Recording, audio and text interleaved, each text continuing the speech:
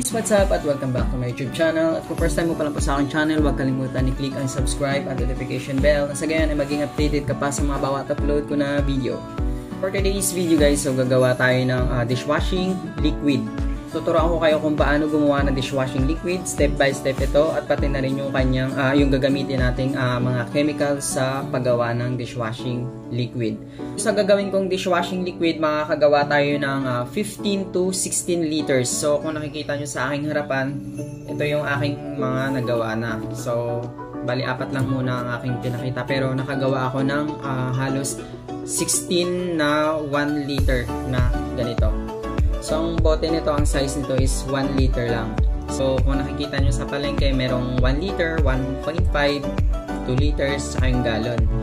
So, dito sa tutorial na to, puro 1 liter lang muna yung gagawin natin. So, yun, kaya guys, tapusin mo ang video na ito hanggang dulo nang sa gayon masundan mo ang tamang paggawa ng uh, dishwashing liquid.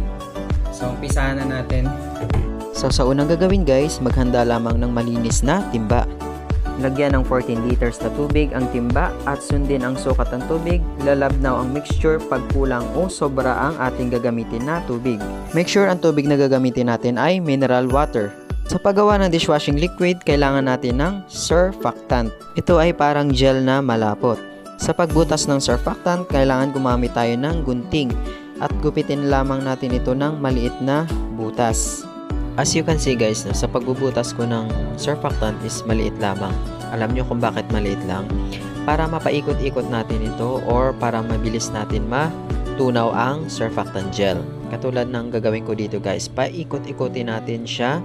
Yan, paikot-ikotin natin yan hanggang sa maubos ang surfactant gel. Napapansin ko kasi guys, ito, ito yung gel na parang kahit anong halo mo para ang tagal matunaw. Kaya make sure maliit lang yung gugupitin mong butas sa kanyang plastic. Nang sa gayon, maliit lang ang kanyang nilalabas na gel. Kapag okay na, isusunod naman natin yung bubble booster. So, isusunod naman natin guys yung bubble booster. So, pasensya na no, hindi ko na video yung pag uh, buhos ng bubble booster. So, nung pagbubuhos ko ng bubble booster, hindi pala na-play yung video. So, basta after nung surfactant is next natin is yung bubble booster. Yung bubble booster guys, yung parang ito yung parang nagpapapula. Kasi napansin ko lang kasi nung una kong binuhos yung surfactant, hindi siya bumula. So, nung napansin kong binuhos ko yung bubble booster, parang tsaka lang siya parang bumula. Siguro ito yung formula na ano, nagpapatriggered ng bubbles. So, after natin malagay yung bubble booster guys, so uh, maghanap lang tayo ng panghalo. Uh, make sure yung panghalo natin is matigas na bagay.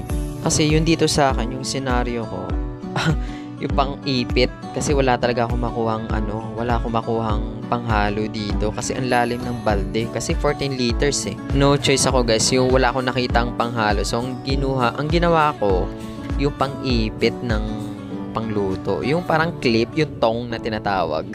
eh ang problema, malambot pala.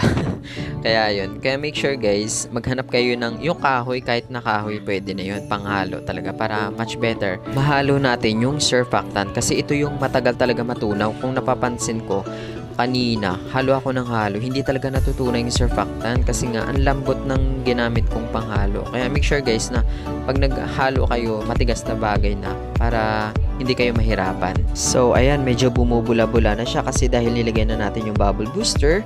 So, halo-haluin na natin yan hanggang sa matunaw yung surfactant tsaka yung bubble booster. By the way guys, sa paghahalo, dapat ang paghahalo natin is hindi yung halong diretso lang pag naghalo tayo, make sure na uh, parang alternate yung paghalo natin para matunaw talaga natin yung surfactant. Kasi yung surfactant dyan guys, yung ang tagal talaga matunaw kung napapansin ko talaga kanina. Halo ako ng halo, ang tagal matunaw.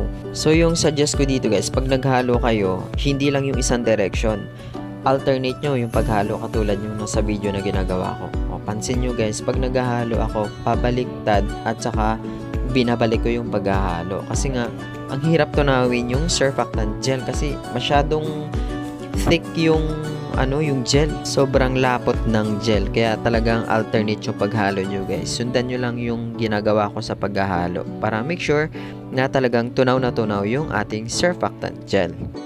So napapansin nyo guys no, nagbubula na siya. Nagtitrigger na yung kanyang bubbles dahil sa uh, bubble booster na nilagay natin kanina. Which is normal lang yung pagbabubbles kasi within 24 hours mawawala rin naman yan yung bula na yan. Ayun guys, dino-double check ko talaga uh, bawat halo ko kasi may surfactant pang uh, sumasama sa uh, tong sa paghahalo ko. Hindi talaga siya agad-agad natutunaw. So kung if ever na gumawa kayo ng ganito guys, advice ko lang na haluin nyo talagang mabuti.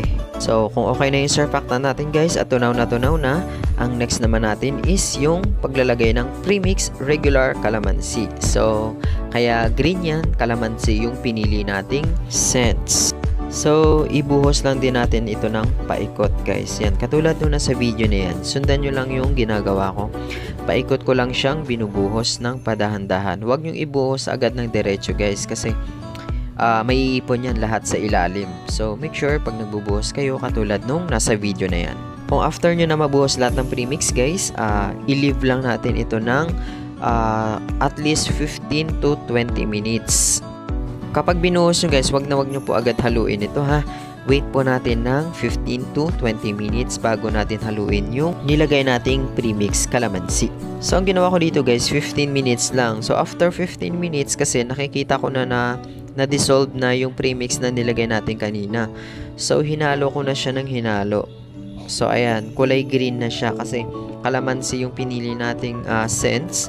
Ayan, hinalo ko na lang siya ng uh, alternate. Much better kasi na alternate yung paghahalo natin para ma-dissolve lahat yung uh, chemicals na pinaghahalo-halo natin.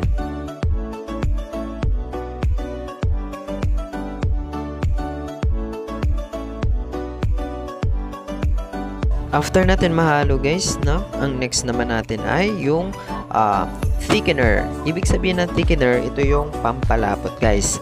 So parang ang tinatawag nila kasi yung ibang tinatawag nila dito is yung salt. Pero thickener talaga ang tawag dito.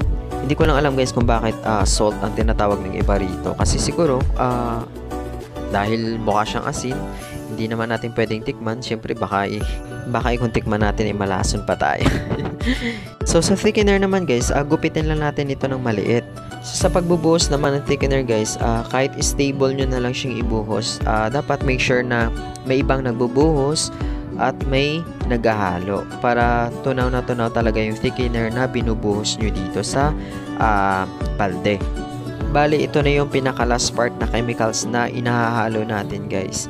Kaya kahit uh, pag nagbubuhos kayo, medyo dahan-dahan lang or medyo itulak nyo ng daliri nyo, huwag nyo ibuhos agad ang thickener para habang nagbubuhos kayo or may naghahalo, eh, matutunaw agad pagdating sa ilalim, hindi na siya may stack. Habang inahalo ito, lumalapot din ito guys, kaya medyo bumibigat. Kaya yung advice ko sa inyo, yung panghalo nyo is yung matigas na bagay. Kasi habang binubuhos yung thickener, lumalapot din po yung inyong hinahalo. So kapag lumalapot yung inyong hinahalo, ang tendency uh, bumibigat po siya. So, ayan, paunti na ng paunti yung thickener natin, di ba guys? So, kung napapansin nyo, di ba, paunti-unti lang namin siyang binubuhos kasi sinisigurado namin na matunaw talaga yung thickener pagdating sa ilalim. So, kung napapansin nyo, ang bigat na ng aking hinahalo. So, lumalapot na talaga siya. Siguraduhin yung uh, maubos lahat ng thickener. Kasi, sukat na sukat po yan sa 14 liters na tubig. So, ayan na, naubos na yung thickener. Grabe. Nung paubos ng paubos yung thickener, lumalapot din ang lumalapot yung uh, hinahalo ko. Kaya, ayan, sobrang bigat na talaga siya. So, ibig sabihin, na-achieve natin yung lapot ng liquid detergent na ginagawa natin. Ang sekreto lang dito talaga guys sa pag-achieve ng lapot is yung haluin natin ng haluin.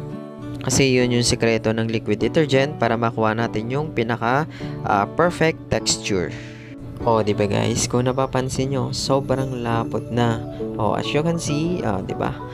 Yan. Talagang uh, na-achieve natin yung lapot ng liquid detergent na ating pinaghalo.